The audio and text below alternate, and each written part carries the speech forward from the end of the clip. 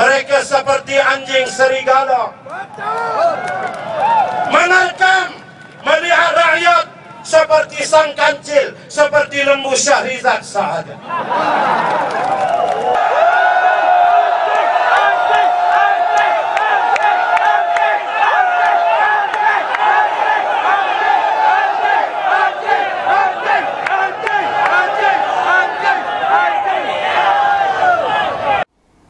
Ustaz, uh, minta komen uh, berkenaan dengan uh, orang kutuk polis tak?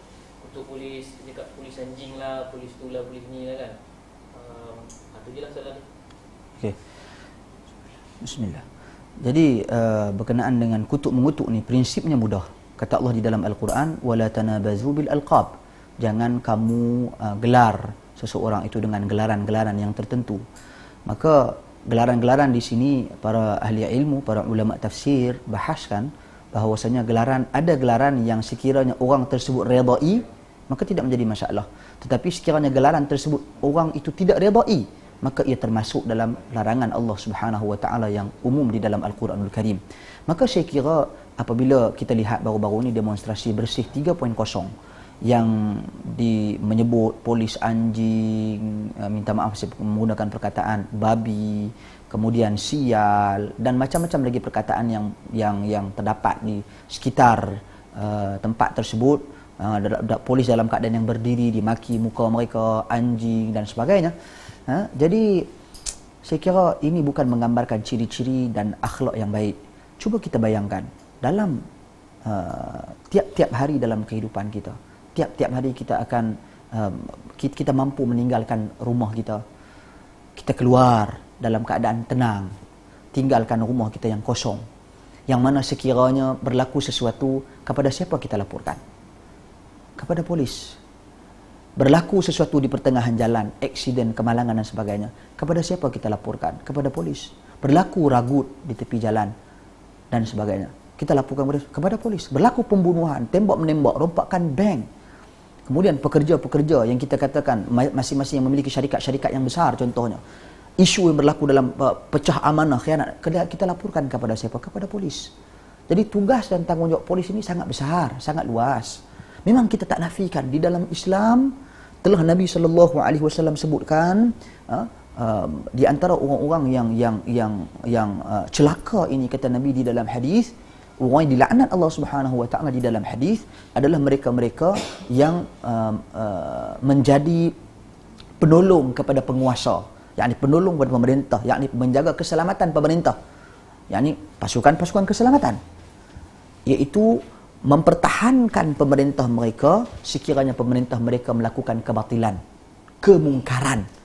Jadi itu tak boleh. Itu secara prinsipnya saya katakan di sini. Jadi adakah polis mempertahankan kemungkaran dan kebatilan? Siapa yang bersalah dalam sudut kerajaan ke, parti pembangkang ke dan sebagainya, itu ditangkap dan dipersalahkan. Soal berlaku isu-isu politik yang dimainkan, yang mana tidak ada bukti-bukti yang kukuh, yang jelas, itu adalah satu provokasi. Itu adalah satu persepsi. Kita bercakap biar kita ada bukti. Jangan tuduh-menuduh dan menunding jari sesuka hati. Jadi bukan ini bertujuan untuk mempertahankan polis tetapi ia bertujuan untuk menyedarkan diri kita. Apa tanggungjawab kita kepada polis? Kita minta polis bertanggungjawab kepada kita. Apa tanggungjawab kita kepada polis? Kita sering berkata orang perlu bertanggungjawab kepada kita. Apa tanggungjawab kita kepada orang? Kalau kita lihat bagaimana konsep salam konsep menjawab dan memberi salam di dalam hadis Nabi SAW memberi salam adalah sunat tetapi menjawab salam adalah wajib. Jadi jelas Islam dalam perhubungan dia memerlukan memerlukan hubungan dua pihak. Jadi kalau kita katakan polis, kita nak sesuatu daripada polis. Kita juga perlu mengetahui bahawasanya polis juga inginkan sesuatu daripada kita. Iaitu kerjasama. Iaitu tanggungjawab kita. Penghormatan diberikan kepada dia. Kepercayaan, bukan kepercayaan mutlak. Yang salah daripada kalangan polis, mereka adalah salah. Yang betul, kita bantu dan tolong mereka. Di hari demonstrasi bersih, dilihat dilihat secara terang bagaimana kereta polis diterbalikkan, bagaimana pegawai polis dipukul, bagaimana pegawai polis jatuhkan motor mereka, ditendang dan sebagainya. Adakah ini merupakan sikap yang baik? Apa mereka datang? Untuk tujuan apa mereka datang? Disebarkan, dituduh, difitnah dan sebagainya bahawasanya mereka nak melanggar orang dan sebagainya.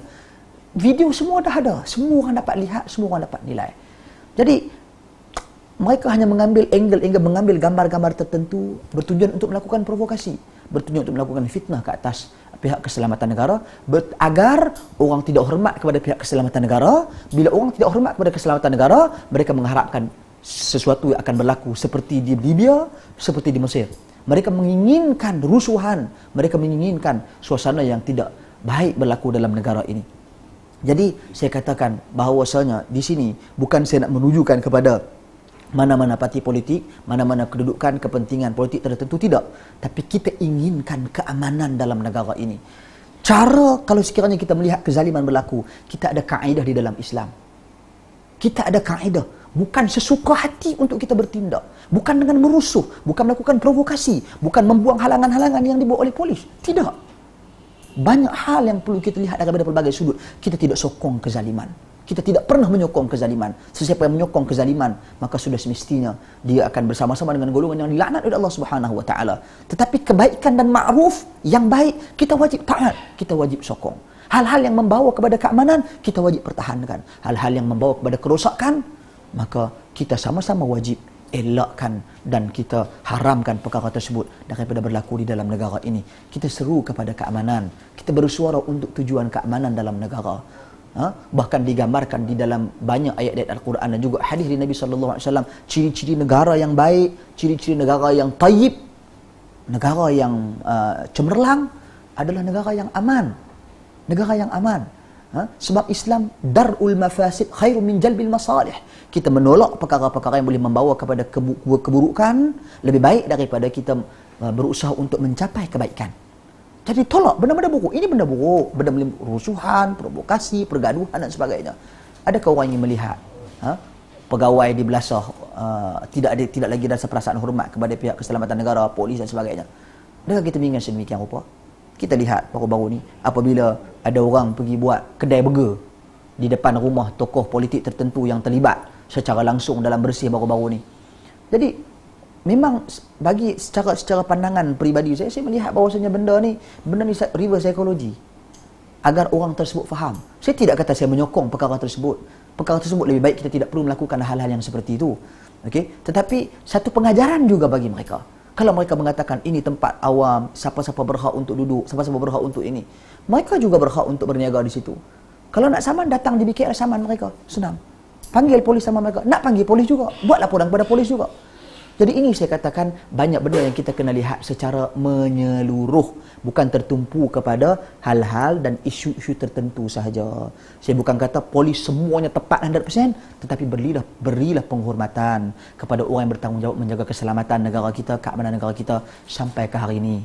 Berilah penghormatan kepada mereka. Kalau dilihat kalau dilihat secara benar-benar FRU FRU apa kerja mereka? Apa yang mereka lakukan? Tiap-tiap hari mereka berlatih. Berlatih bagaimana cara nak mempertahankan negara dengan menggunakan peralatan-peralatan mereka. Kalau kita setiap hari kita berlatih silat lah katakan.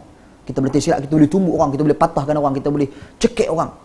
Hebatnya kita kalau tiap-tiap hari kita berlatih silat. Ini orang tiap-tiap hari berlatih dengan uh, uh, kayu contohnya tiap-tiap hari berlatih dengan ni untuk mempertahankan keselamatan negara. Kalau sekiranya mereka itu betul-betul berniat jahat nescaya ramai yang akan patah kaki dan patah tangan dipukul tapi berapa ramai orang yang patah kaki, patah tangan dipukul oleh mereka dengan contoh-contoh mereka? Berapa ramai yang cedera? Berapa ramai? Berapa? Kalau seorang dua, dua tiga orang, kita tak boleh jadi hukum secara majoriti. Kerana itu mungkin perasaan. Mereka berdiri seperti tunggul, wajah mereka dicaci, mereka dimaki, dipanggil sebagai anjing. Siapa mampu bertahan? Siapa mampu bertahan? Wajah mereka dipanggil sebagai anjing. Mereka dipanggil. Anak-anak polis ini, anak-anak mereka, sanggupkah dilihat bapak mereka digelar sebagai anjing? Jadi saya kira perlu kita fikirkan. Kalau kita tidak sanggup uh, uh, melihat ibu bapa kita digelar sebagai anjing, maka kita juga perlu ketahui anak-anak polis juga tidak mahu dan tidak re- pernah redha anak bapa mereka, ibu mereka digelar sebagai anjing. Wallahu a'lam.